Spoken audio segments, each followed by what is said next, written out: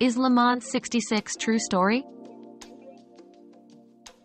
Le Mans I-66, also known as Ford versus Ferrari, is indeed based on a true story. It focuses on the rivalry between Ford and Ferrari in the 1960s, culminating in the historic 1966 Le Mans race. The film highlights the efforts of Carroll Shelby and driver Ken Miles in developing the Ford GT40 to challenge Ferrari's dominance.